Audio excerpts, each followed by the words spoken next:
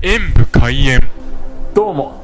本日はちょっといつもと違いすみませんこちらのアルモンドというおおメーカーさんのあじゃあいわゆるアマンドだアマンド。アマンドの六本木ハイカラナッツというお菓子のを開封したいと思います。あもちろん食べますよ。開封とは言ってますが。この中に9種類はい9枚9種類じゃないか9枚入っているということですね。3種類。3種類が3枚ずつの。開封下手で申し訳ないです。おーちょっとこういう風になってるんですね。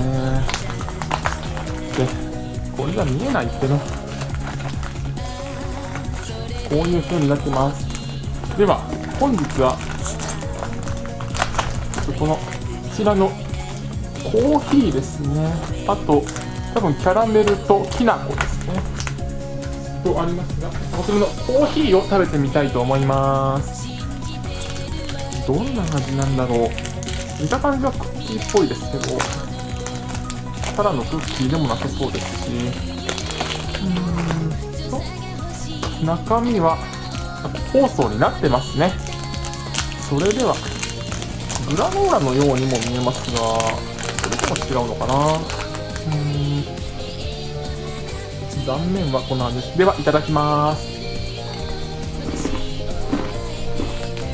コーヒーの要素は、ああ、後から来ますね、これ。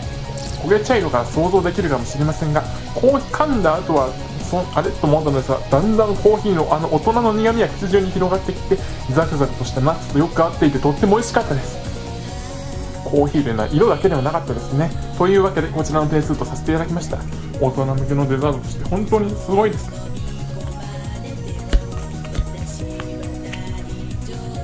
春なのに後悔するかな？別れると。別れる前に何かできることがあったのでしょうか？ご視聴ありがとうございました。コメントしていただけると嬉しいです。演武閉園。パソコンおよびスマートフォンのアプリの方はクリックをお願いします。